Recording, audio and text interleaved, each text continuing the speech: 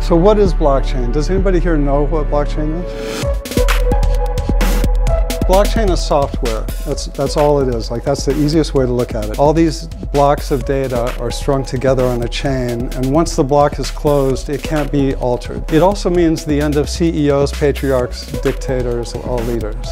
I like almost immediately became obsessed with it taught myself everything I could, and this book is, uh, is the culmination of that. We're always turning to the state for approval, for recognition, for uh, validation. Blockchain is set up in a different way. It's decentralized or distributed. Whatever you put on the blockchain that is incorrect remains incorrect. I mean, it, it just is incorrect. And certainly like on a supply chain, you could say this cotton is organic when it, when it wasn't. But blockchain doesn't make bad information good.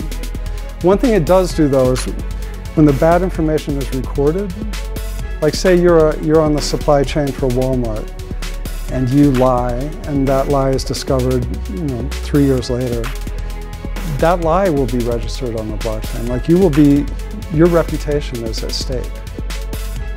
I really believe that you have to align yourself with the technology to move forward.